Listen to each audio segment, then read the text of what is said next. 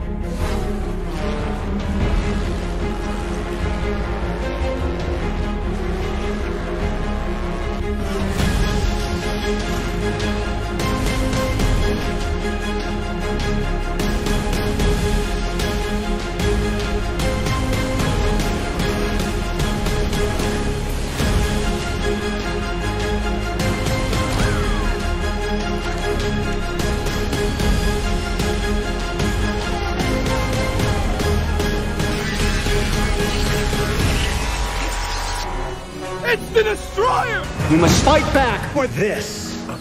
We can work together to stop him. Ha ha ha! Now that's an ass!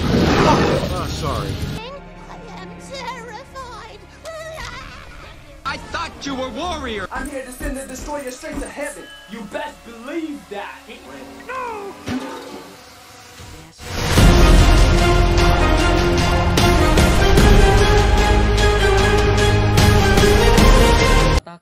කරන්න ප්‍රවේශයක් විදිහට මම තෝරගත්තා මේ මහල්ලා සහ මුහුද කියන නවකතාවේ අපූරු ඡේදයක්.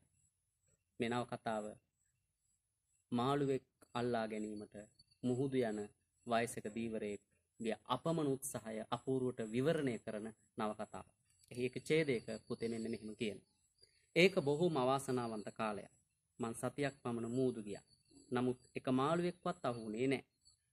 එහෙත් මං නොකඩවාම් මූදු කියා. එදා උදේ හොඳට ඉර පෑව්වා.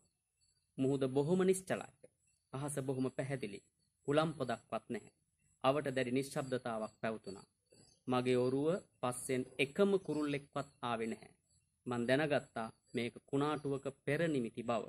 මං කුණාටුවලට බහේ නැහැ. මීට කලින් මං කුණාටුවලට අහු වෙලා තියෙනවා. කුණාටුවකදී මුහුදියම් බොහොම භයානකයි.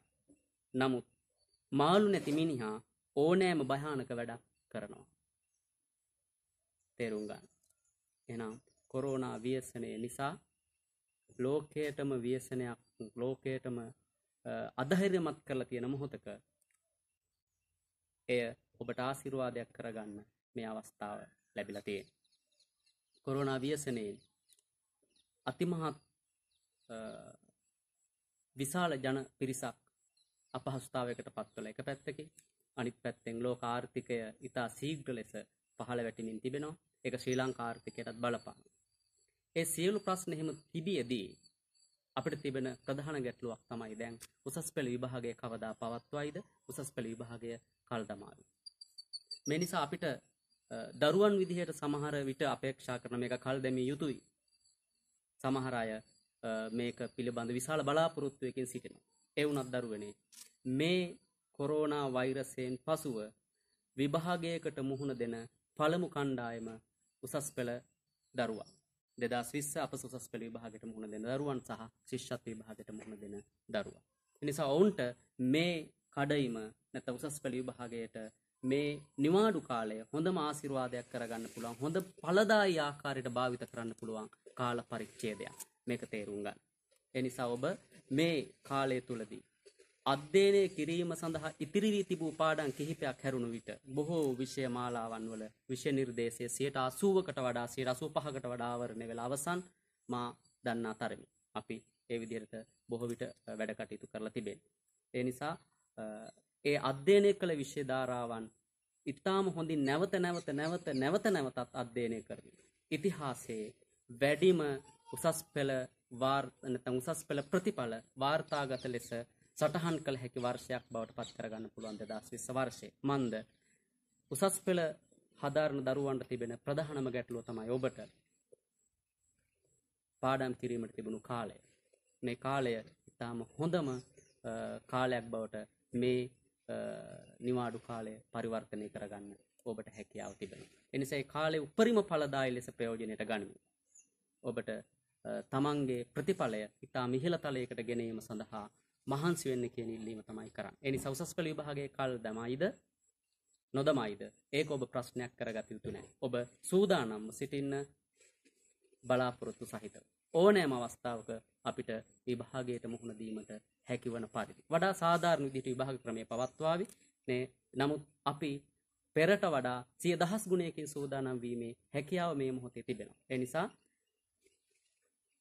නිසා ටෙරන්ස් ඉකොනොමික්ස් කියන චැනලයත් සමගත් සම්බන්ධ වෙලා ඔබට අවශ්‍ය පාඩම් මාලාව නැතම් පාඩම් මාලාව අනාවරණය කරගන්න පුළුවන්. ඒ වගේ වෙනත් විද්‍යුත් මුද්‍රිත මාධ්‍ය ඔස්සේ ඔබට අ, ඔබගේ අ, අධ්‍යාපන කටයුතු නිවසේ සිට සම්පූර්ණ කරගන්න පුළුවන්. ඔබට ආශිර්වාද කරනවා ඒ ගමන ජයග්‍රහණය කර ගැනීම සඳහා මහන්සි වෙන්න ශක්තිය ධෛර්යය ලැබේවා කියලා.